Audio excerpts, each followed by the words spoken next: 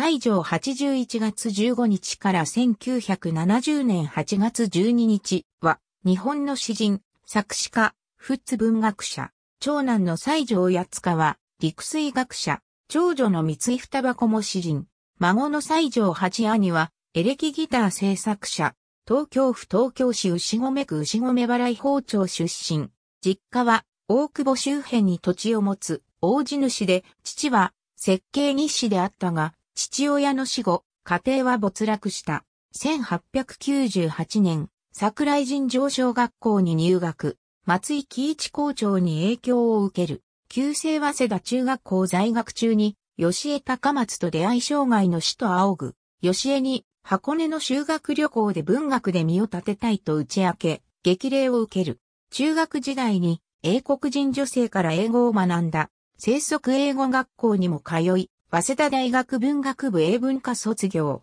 早稲田大学在学中に、日夏幸之助らと同任し、制作好きを刊行。三木露風の未来にも同任として参加し、1919年に自費出版した第一詩集、砂金で象徴詩人としての地位を確立した。後にフランスへ留学し、ソルボンヌ大学でポール・バレリーラと交友、帰国後はセダ大学文学部文学科教授。戦後は日本音楽著作権協会会長を務めた。1962年、日本芸術院会員。1943年には、早稲田大学時代の同級生、外池角次郎が当時町長を務めていた茨城県、真壁郡下館町に疎開、以後戦後まで下館を拠点としていた。省庁市の詩人としてだけではなく、歌謡曲の作詞家としても活躍し、佐藤千也子が歌ったモダン東京のギガとも言うべき、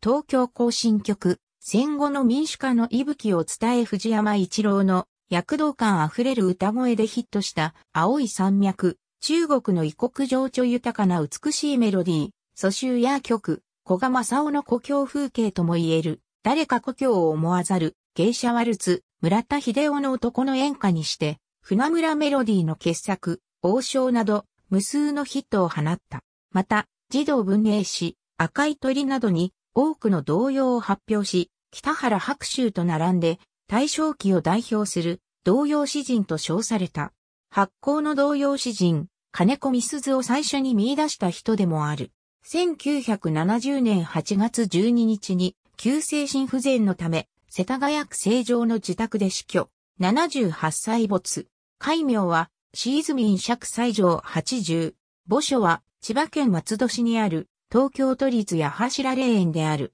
中山新平と共に1924年3月、少女クラブ読み切り、儚き受けから、1960年11月、仲良し連載、笛を吹く影まで、少女雑誌に多くの少女小説を連載し、多く刊行され、大人気を博した。外部リンク、西条80児童小説リスト参照。西条80全集第10巻収録作品、未収録作品には、ありがとうございます。